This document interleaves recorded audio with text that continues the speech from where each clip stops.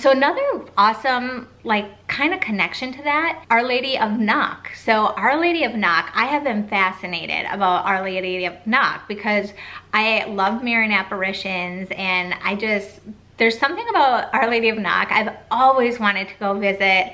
that shrine in Ireland. Maybe someday I will go. The whole thing that happened, it's very interesting because it's not like any other apparition that has happened throughout the world. So Mary and Saint Joseph and Saint John actually appeared and there was also like a altar with a lamb on it